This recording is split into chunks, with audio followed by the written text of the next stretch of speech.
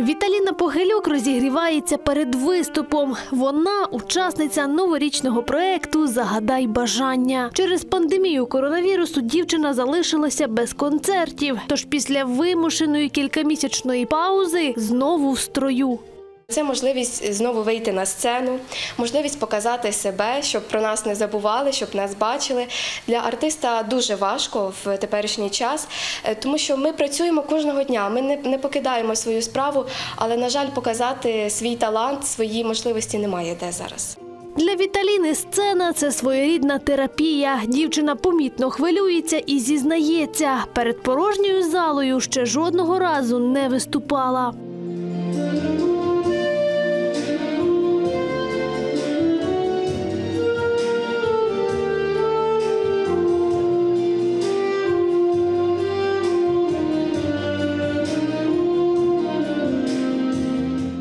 Хочеться почути облиски е, глядачів, хочеться побачити погляди, побачити, чи глядачам подобається твій виступ. Е, І я думаю, що це дуже незвично, але ми впораємося, адже артисти ми універсальні, ми можемо пристосуватися будь-до якої форми роботи. Допомогти юним артистам знову відчути себе зірками взялася Оксана Кулик. Зібрала талановитих дітей і вирішила знімати святковий концерт Загадай бажання. Так як на сьогоднішній день в зв'язку з карантином немає відповідних конкурсів, фестивалів, е, от вирішила створити такий новорічний проект, де всі бажаючі можуть себе проявити свій талант. Кожен буде мати свій новорічний кліп, е, має свою свій е, аудіозапис.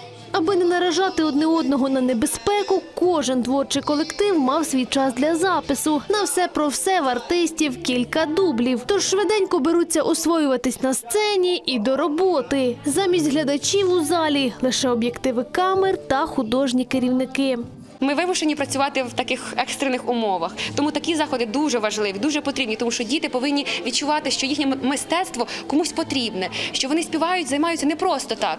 Їм потрібна сцена, обов'язково. Артист і сцена це не- не- нероздільні поняття. Голосисті та харизматичні. У проєкті взяла участь сотня вихованців Вінницьких музичних шкіл, коледжу Леонтовича та навіть з районів.